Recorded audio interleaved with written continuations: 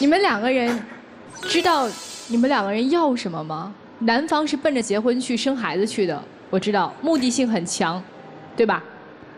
女方，你知道你要什么吗？我要的是当时是他能够去关心我。那你知道为什么你一直觉得他隐瞒你年龄和名字这件事儿，在你这儿是一件非常大的事儿？你觉得这个是这件事儿是你忍无可忍的事情，在他那儿却觉得这没什么，我就是瞒你年纪、瞒你名字了，怎么了？你知道为什么吗？因为他可能感觉我这个人好说话的那种女孩子吧。没错，你自己没有底线，没有原则。你在一年多的时间之内一直在重复纠结这一个问题，但是你没有明确你的态度。如果你当时接受不了这件事情，为什么要拖到一年之后到现在才去还在纠结这个问题？因为不是我在纠结，是你的心在纠结，因为你是他一直在缠着我。这一年你都在提分手吗？就是他，你知道了他的年纪和他的名字之后，你你就跟他说，我不跟你好了。但是他一直在缠着我啊。所以啊，还是你的问题啊。发信息啊，我真的。感觉到非常非常的迷换号啊，很多方式可以让你离得开他呀，所以这是女方的问题。那男方是什么？你知道他为什么一直要挑你的理吗？因为他跟你不是一条轨道上的人。你要的目的性非常明确，要生孩子要结婚。你知道他愿意跟你结婚吗？你说珍惜，什么叫珍惜呀？强扭的不叫珍惜。对吧？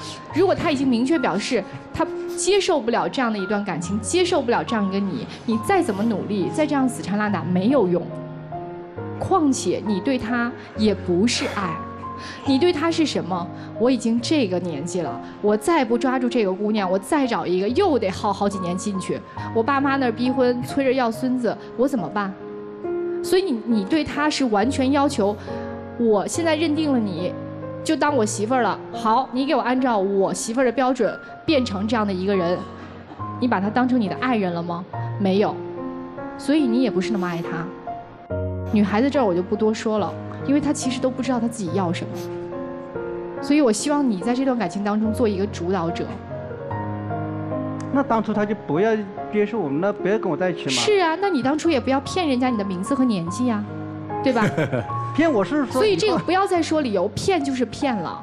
这个是善意的谎言嘛？什么叫善意的谎言啊？在感情当中隐瞒年纪算善意的谎言吗？以后他认可了我了，我会告诉他真实真实年龄的吗？那有什么意义呢？当一切都是谎言的时候，这段感情有什么意义呢？这感情开始的基础就是以一个谎言开始，你觉得它继续下去还有意义吗？你知道吗？以前我就是因为实话实说才导致这样的原因的了。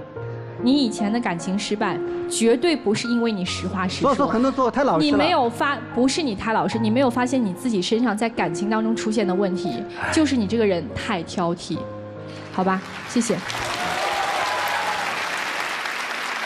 小伙子，你这次绝对来对了。你来对的理由不一定是你会挽回他，